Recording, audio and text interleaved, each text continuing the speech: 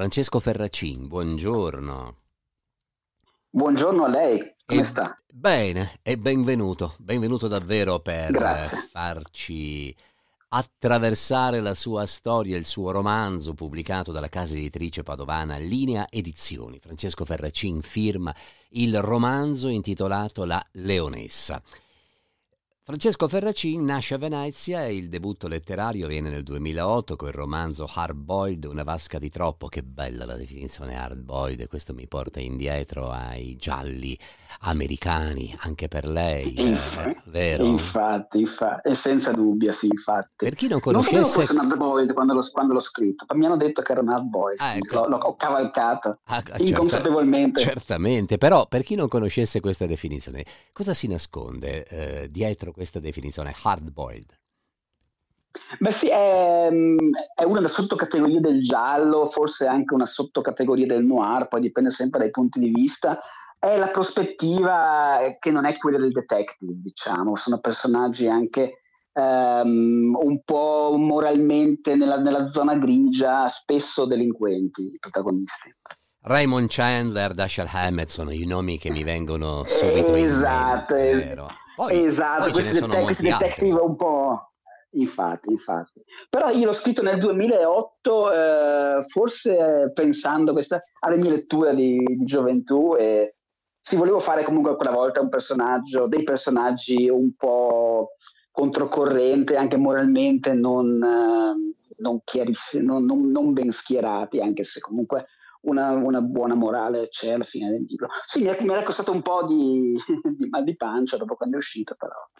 E poi nel È stato 2009 bello, no? È stato bello sicuramente. E poi nel 2009 comincia la sua collaborazione niente proprio di meno che con Franco Battiato, con il quale ha cosceneggiato il film Handel, portato in scena poi il melologo L'incubo della farfalla, che è diventato poi anche un libro.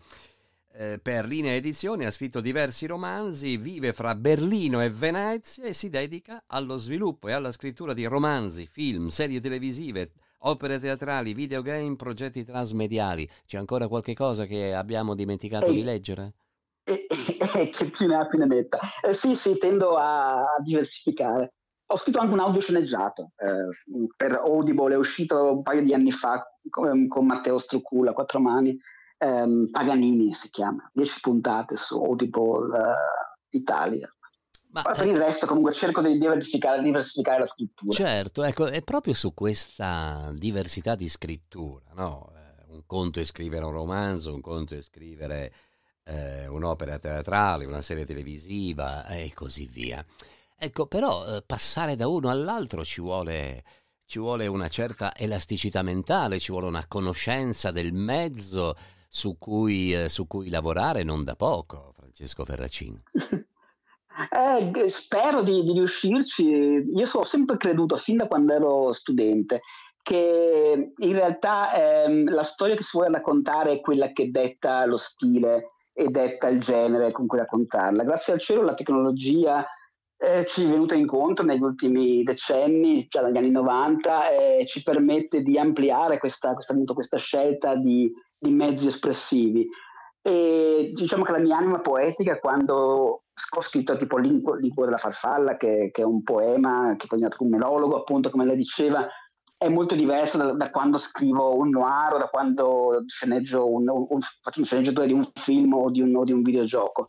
Sono tecniche diverse che si possono imparare, però credo che la cosa fondamentale sia avere bene in mente quello che si vuole dire e come lo si vuole dire. E poi con allenamento, con le letture, credo che sia importante, è un consiglio che do sempre anche, anche ai giovani di, di leggere, guardare film, di, di- di- il più possibile, perché anche da lì si impara molto. Avere bene in mente ciò che si deve scrivere e avere bene in mente, e qui entriamo poco per volta, nel suo nuovo romanzo, La Leonessa, avere bene in mente quando comincia la storia come va a finire. Lei quando ha cominciato a scrivere questo romanzo, sapeva già esattamente la fine, Francesco Ferracin?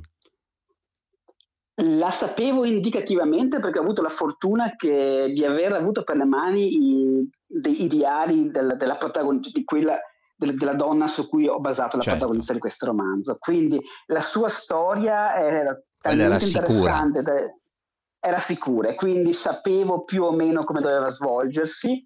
È chiaro che eh, nella storia di una vita è sempre difficile scegliere il periodo e poi ovviamente eh, ho scelto comunque di, di fare del, della fiction, dalla, dalla, dalla, dalla biografia della, della, di questa donna tedesca. E non avevo ancora in mente come sarebbe finito, sapevo il tono della fine, sapevo il messaggio che volevo dare. Non sapevo ancora eh, come darlo e spesso eh, scrivendo vengono in mente eh, prospettive e soluzioni a cui non si aveva pensato. Comunque io mm, sono molto tecnico, quindi mi piace molto lavorare anche sulla struttura prima di cominciare la scrittura vera e propria. Cosa vuol dire essere molto tecnico? Vuol dire che per esempio suo eh, sul suo tavolo di scrittura, che ne so, ci sono tutti i pezzi di carta con i nomi dei, eh, dei protagonisti, gli spostamenti sì, sì, e sì. tutte le mappe. Esattamente, sono molto pedante in questo. Scrivo le, le biografie nei romanzi, scrivo le biografie di tutti quanti i person- personaggi protagonisti comprimari. Ehm, ho passato un anno a fare ricerche in biblioteca, online, eccetera, per sapere che musica ascoltavano in quel mese del 1961, eh, che cosa davano in scena nella Deutsche Oper di Berlino eh, nel 63, eh, che cosa poteva leggere un giovane nel 57, eccetera. E ho anche guardato le previsioni del tempo dell'epoca, giusto per, per, aggiungere ancora un po' di realismo. Quindi diciamo che il lavoro di, di base che ho imparato molto nel cinema, io ho scritto otto film, otto sceneggiature per otto film, e questa è una cosa fondamentale, avere bene in, mente la, lo scheletro e, e, la suddivisione di scene, che, che, a volte uso anche quando scrivo romanzi, come, come tecnica. Il mistero dell'amore è più grande del mistero della morte e queste parole sono parole importanti, arrivano da Salomè, quindi eh, attraversano, eh sì. attraversano tutte le 647 pagine di questo di questo romanzo, ma dire 647 pagine non vuole dire eh, spengo l'ascolto di questa conversazione e vado oltre, perché 647 pagine bisogna, bisogna entrare dentro questa storia e poi piano piano piano piano la si costruisce, la si comprende, la si condivide e, e, e poi la si, porta, la si porta alla fine. Ecco, questa frase perché attraversa questa storia?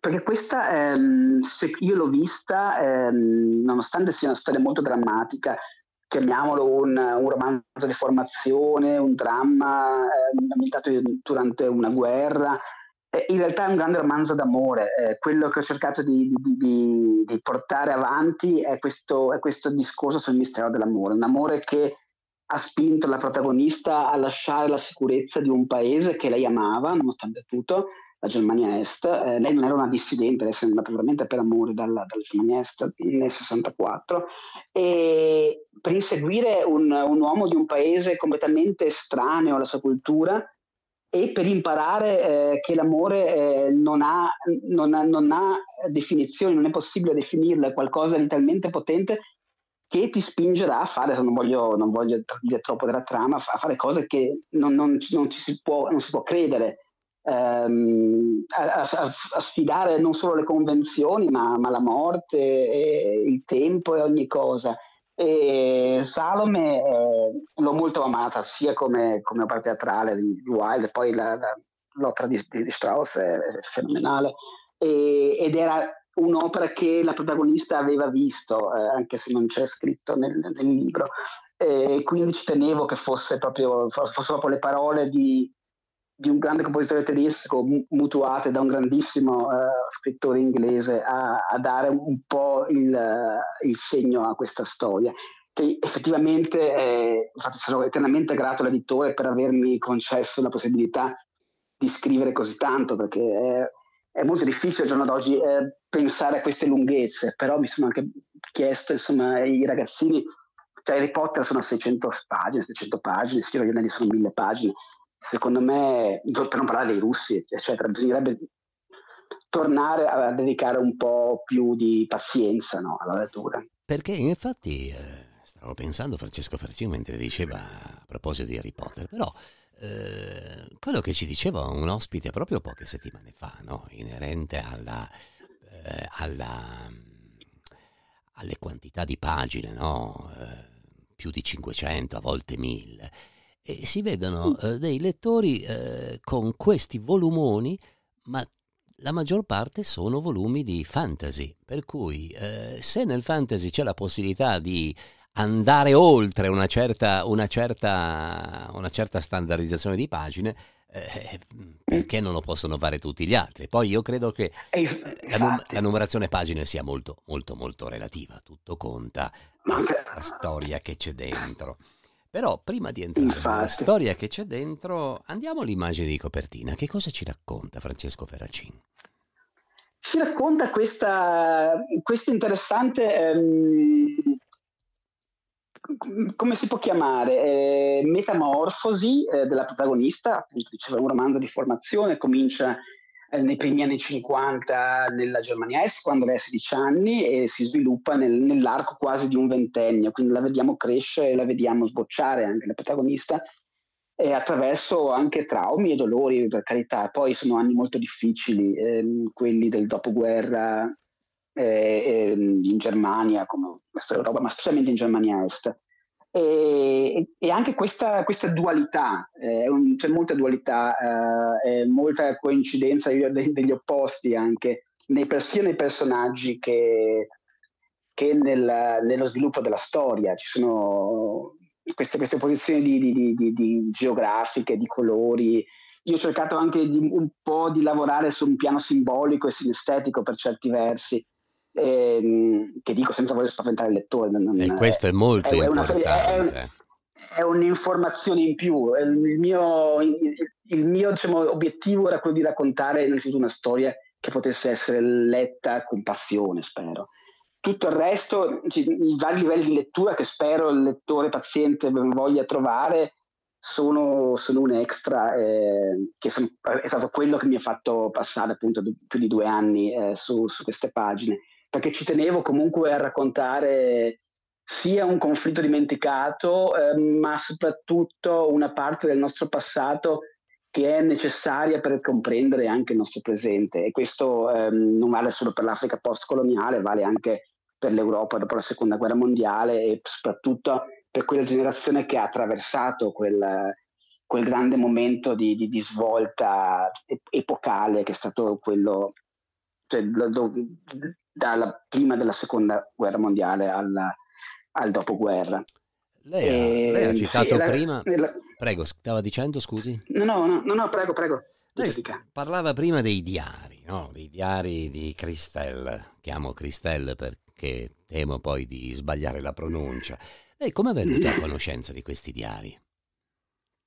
Eh, la, la, figlia Patrizia, Patrizia ehm, Rosin è la figlia della protagonista del, del romanzo, ehm, è andata in contatto con, con il mio editore proponendole eh, di eh, in qualche modo pubblicare la storia di sua mamma.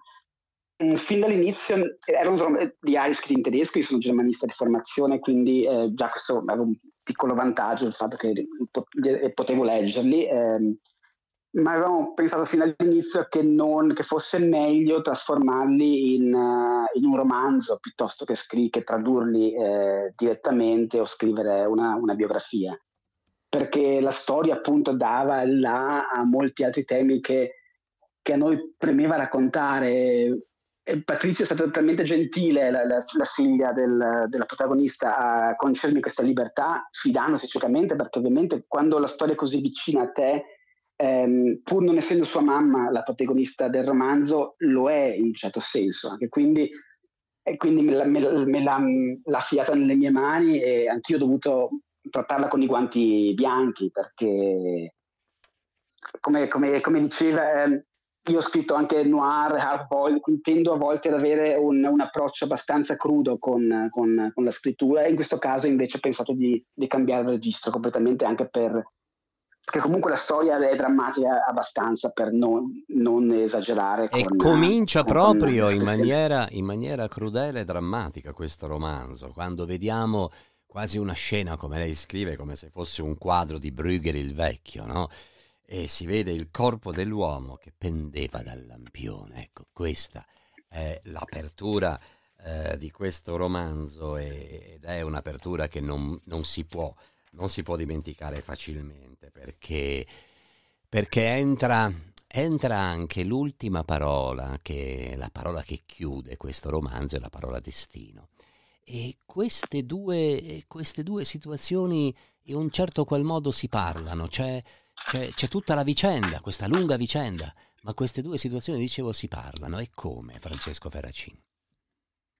Ah, sono veramente felice che lei abbia, abbia messo in evidenza questo, questa cosa che, che, che ci tenevo eh, fosse, fosse, fosse, comprensibile. Eh, c'è tutto in quella scena iniziale, eh, è, un il, è, un po il, riassunto di un'epoca. Ehm, quello che ho cercato di fare, ehm, questo posso raccontarlo perché comunque lo dico all'inizio, è l'unica vittima del, di una, della città in cui è ambientato il, il, romanzo all'inizio, che è Raten, una piccola cittadina vicino a Berlino.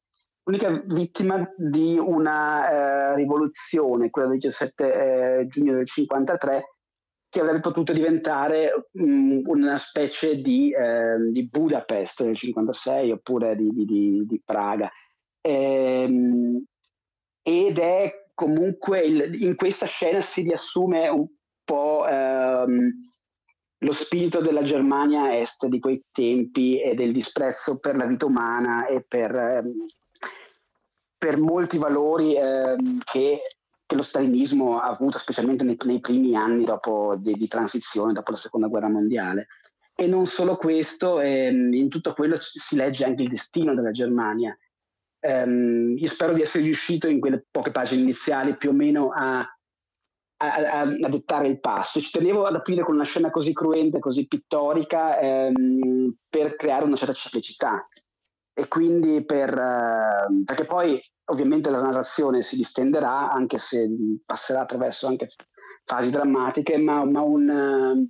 ma un avvio così. Ma non sarà così, poi... non sarà così drammatico, poi ovviamente prenderà un'altra piega, anzi, prenderanno sì. molte pieghe perché perché la storia di Rike, Rike, Rike Beck, questa ragazza, questa giovane ragazza, 22 o 23 anni, non ricordo più, ha una sua vicenda veramente molto singolare, l'ha già accennata lei all'inizio, Francesco Ferracin. E lei vive a Berlino e a Berlino conosce Alexander e con Alexander comincia veramente una piega diversa della sua vita e comincia anche uno sguardo nuovo, non tanto perché ha conosciuto questo giovane ingegnere nigeriano, quanto soprattutto proprio lo spostamento geografico che dovrà, che dovrà realizzare questa, giova, questa giovane donna, anzi questa coppia.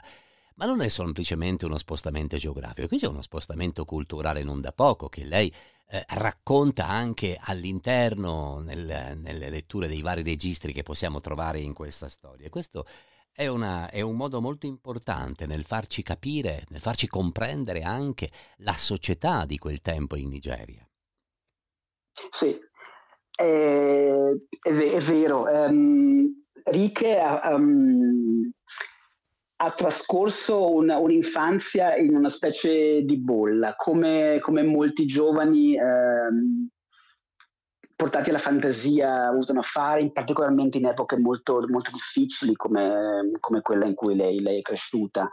Um, e quindi l'amore di, da sedicenne, diciassettenne, l'amore ideale, romantico per, per un artista, vedremo che, come, come, si sviluppa. Comunque il suo primo marito era, era tedesco, sposata giovanissima, come si usava a fare a, a quel tempo, e non è ora non, non, voglio appunto tradire troppo la trama, però ehm, l'amore giovanile è destinato, si è destinato a, a spegnersi a un certo punto, ehm, le circostanze della vita l'hanno portato a conoscere questo Alexander, che è un ingegnere eh, nigeriano e anche questa è una cosa che quando ho diari mi è molto affascinato. Fate pensare ehm, che c'erano moltissimi st- studenti ehm, africani in Germania Est, dei, non solo dei, dei paesi allineati, eh, ma ma anche di paesi diciamo, che potevano essere sotto, sotto le mire di, di conquista del, del, dei paesi del patto di Varsavia. Enrique in un certo modo sfida, sfida, anche il destino, no? A un certo punto del romanzo, se ricordo sì, bene, sì. dice sono quelli che non hanno il coraggio che danno la colpa al destino. Rike non è così.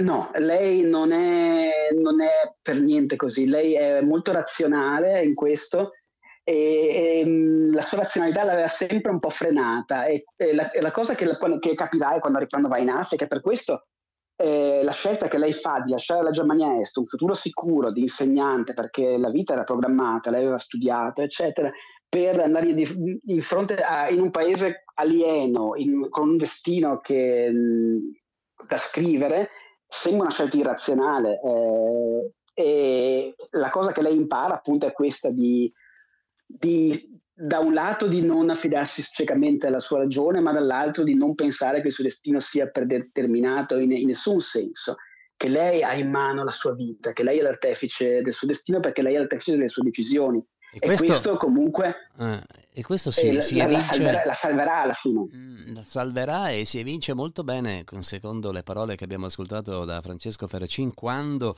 cominceremo eh, la lettura delle sue lettere, no? eh, dopo che lei eh, sì. si è diplomata tra l'altro col massimo dei voti alla scuola di, superiore di pedagogia e poi anche e deve badare anche alla piccola Matilde, no? La Matilde ha, mi pare, due anni o poco più e allora comincia, sì. comincia le sue lettere cominciando proprio da Potsdam e questo è un altro aspetto importante di questo romanzo. Certo che eh, andare a leggere le lettere è veramente come aprire la porta di casa di questa donna.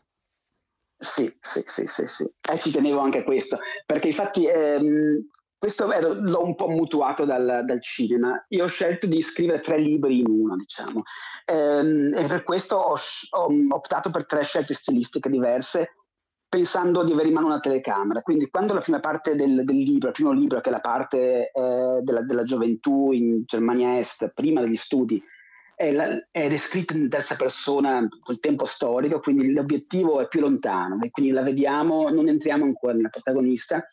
Nella seconda parte eh, diventa un romanzo epistolare, quindi eh, in quel momento entriamo nella testa della, di Rick e, e, cominciamo a sentire la sua voce e cominciamo a sentire il suo pensiero che si forma all'università in, in una specie di scambio corale con le sue amicizie, con i suoi amanti, con, con il mondo presunti, con il suo eh, mondo nell'università di, di, di Potsdam, che è una cittadina è attaccata a Berlino.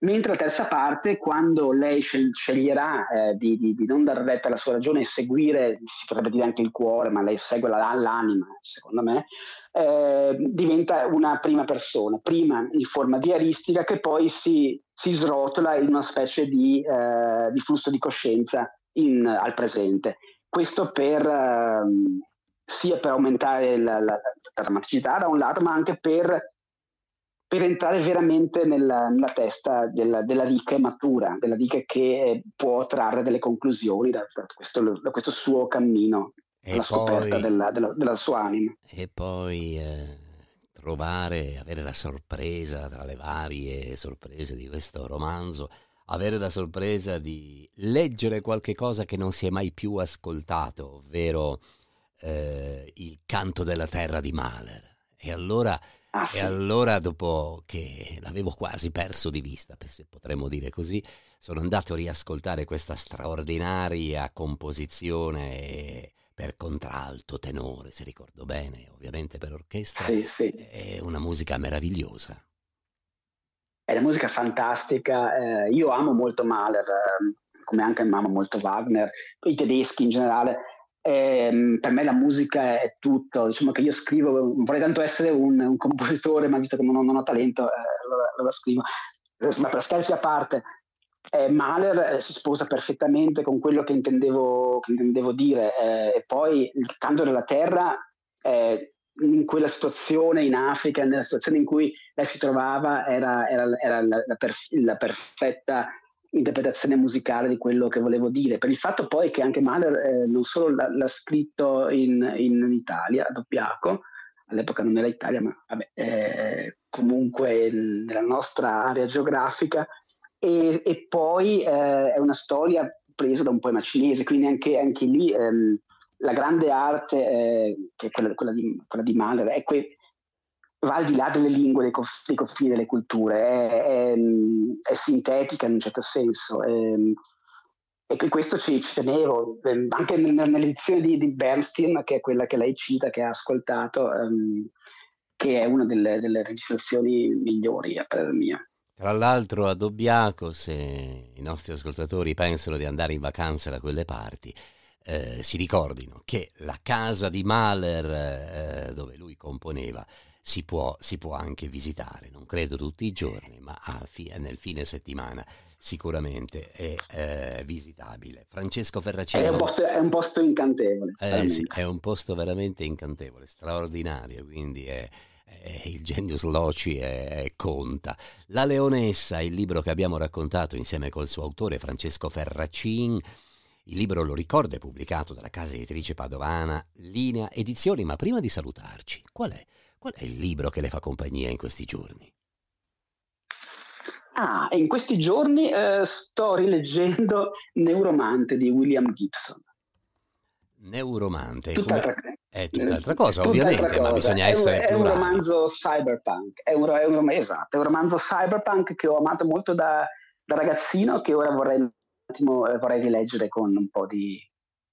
dopo, dopo, dopo 30 anni, eh, sì, per entrare perché... in un altro in un altro spirito per, per i futuri lavori. Perché diciamo. questo è veramente neuromante, neuromante il, il, romanzo per eccellenza no? della fantascienza.